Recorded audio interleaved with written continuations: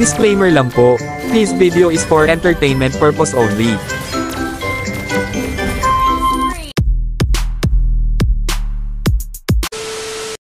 Hi guys! Welcome po sa aking munting YouTube channel. At kung nagustuhan mo ang videong ito, huwag kalimutang mag-like, share, and subscribe para updated kayo sa mga bagong upload o video. Maraming salamat po. At nang biglang lumitaw si Kerry at gusto pang tumakas pero bago pa makatakas, pinatulog ko muna hahaha. Ito namang si Odette gustong basagin ang tore namin pero hindi ako makakapayag. Kaya ito ang nararapat sa'yo.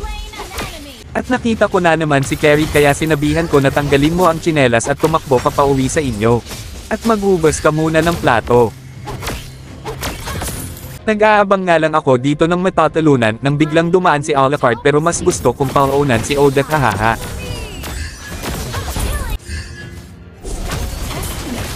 Mukhang sinuswerte pa itong si Alucard na kaligtas sa talo ni Guinevere kaya nag-turtle na lang muna ako. At dito nga gusto akong patayin ni Odette pero mabilis akong nakatalon kaya asa ka na mapapatay mo ako hahaha. Nagpakita ka na naman Carrie ayan na pagtulungan ka tuloy sabi ko pa sa'yo umuwi ka muna sa inyo hahaha. At dito nga gustong magpasikat ni Sun, lalapitin ko na sana nang biglang umalis, takbuhin naman pala. Nang biglang dumating si Mia kaya malas mo lang ikaw ang napagbalingan ko hahaha.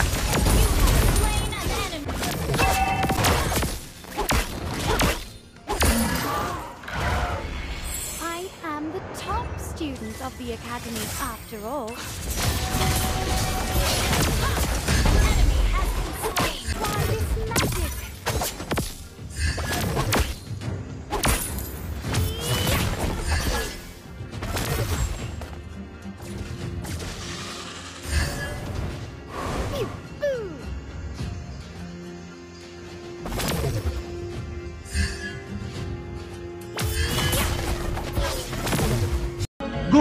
Gunggong!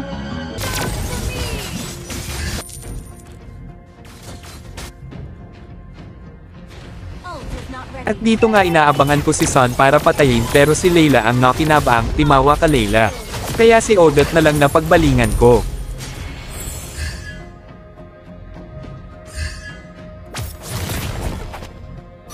Don't test me.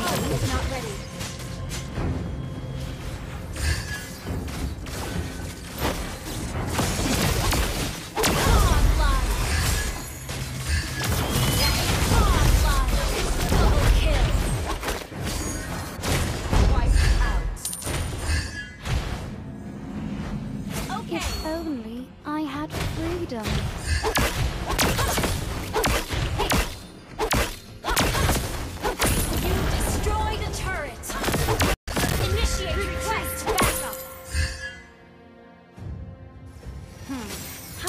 You?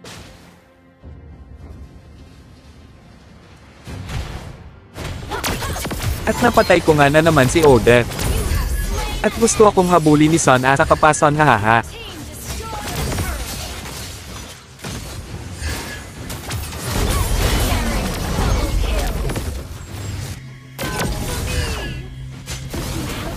Find my brother. Ult is not ready.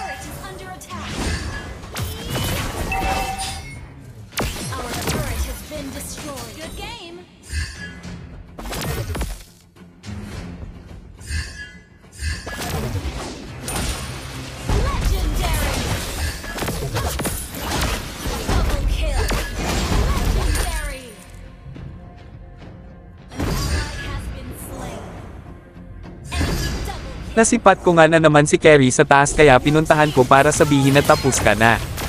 At dito na nga namin tataposan ang laro.